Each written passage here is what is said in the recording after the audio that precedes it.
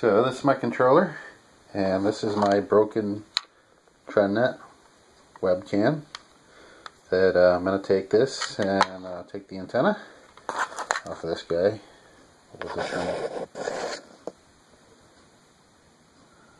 Yeah. The TrendNet TV IP 110W slash A camera in this thing died. So I'm going to just take the antenna and uh, put it in this guy. Now, to do that, I've already taken screws out of this. And in this guy, you need to move the batteries. And then with that screw, this screw, this screw, this screw. And then there's a couple up here. And then there's two here. So basically you remove those eight screws and batteries. And then you can take the back of this off and there's two wires you got to be careful. And the buttons will also. Just gonna like pull these buttons off for now so they're out of the way. And then we'll have to take the board out of here which so now we'll have to take the board out of here and which we'll have to remove the other eight screws these guys across there and four on the bottom.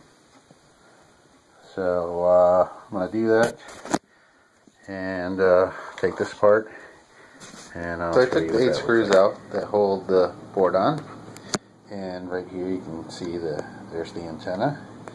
And right behind the antenna,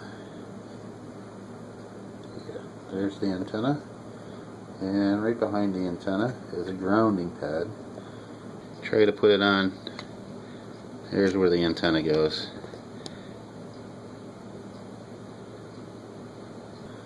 So back over here is the antenna.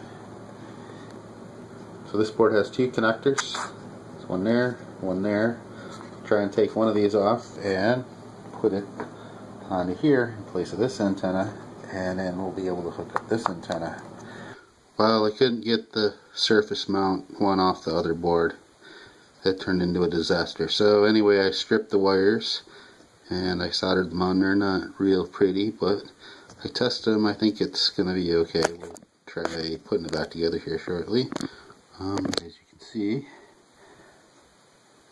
there's my connector with the screw-in antenna. On there.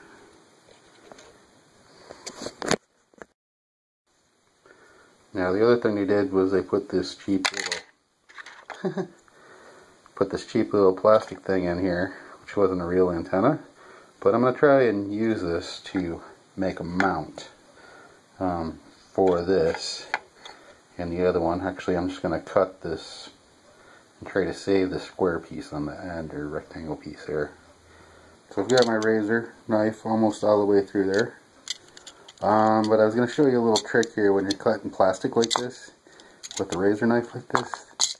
The Best thing, or the easy way to do it is take a lighter and just heat up the blade till I don't want to get it too hot so you'll have to kind of experiment with that. But uh, that's what I'm doing to cut through this just in case you're wondering. So I got the end of the piece, cut off the end of the antenna. Now I can put it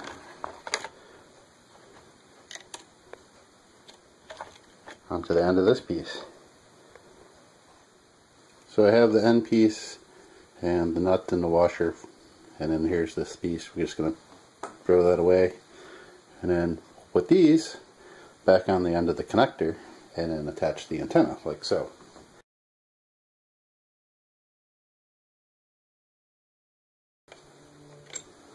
So when it all goes back together it will look like that. Put it back together now.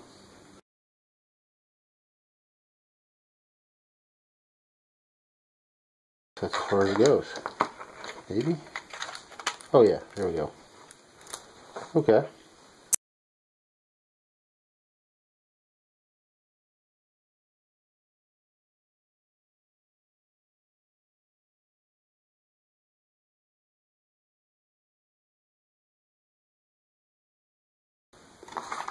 Check and make sure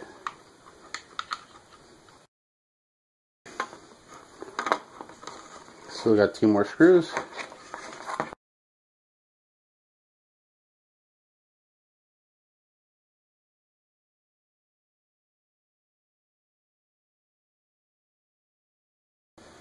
Once the buttons are back in, there we go.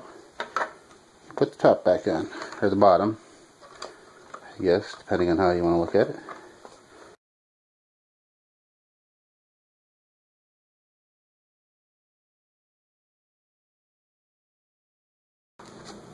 And that's the four big ones. Now we got the four little ones.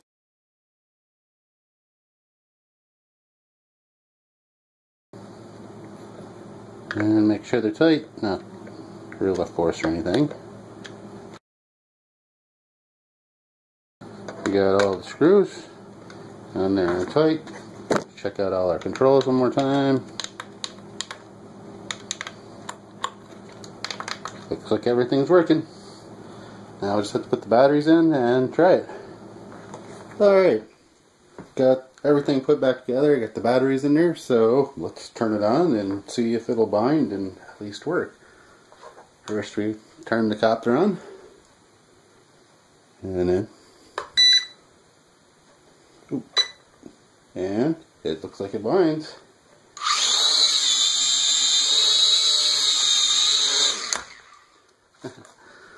Alright, well, today is really windy, so I'll have to wait for another day to see how much further range I get out of this. I'll let you know.